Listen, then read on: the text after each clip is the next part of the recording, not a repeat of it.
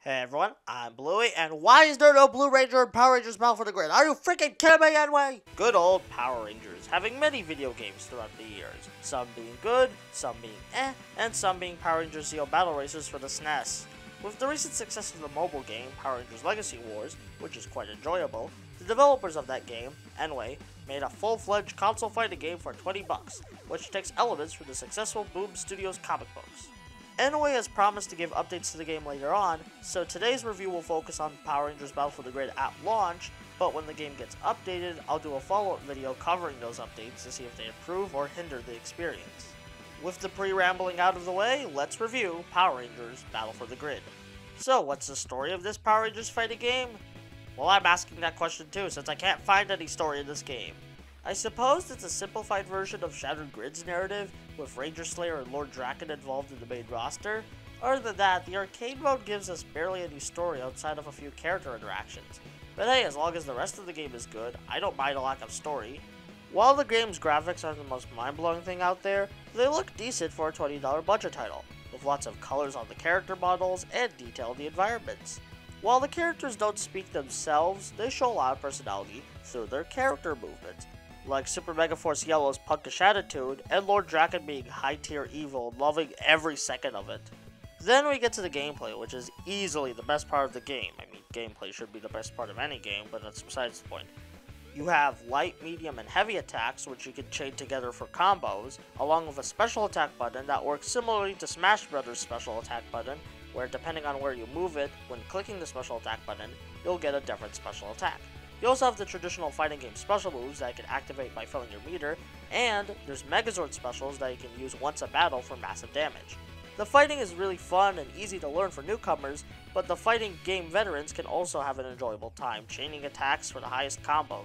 We unfortunately now have to take a look at the negatives of this game. The selection of modes is very limited, only having arcade, online, and training modes, the bare necessities for any fighting game, and nothing else. Hell, some players can't even access the online because of the PlayStation Plus or Nintendo Online subscriptions, locking online out for most games on their platforms. You know what else is lackluster? The cast of characters in this game. So nWay teased us with an image of 15 character slots when the game was first announced, with 3 DLC fighters coming later. So we at least thought we were all getting 12 characters at launch. We ended up getting 9 characters at launch.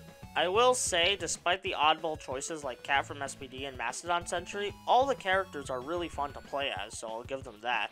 My problem with this roster, as I hinted at earlier in this video, is forgetting a Power Ranger staple, the Blue Ranger.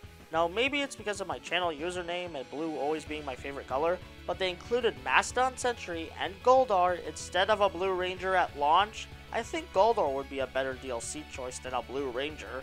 After ranting about something small, let me rant about something big in this game. The price tag, which is $20, which I feel is overpricing this game. Not helping is that there's a $15 season pass with the 3 extra DLC characters.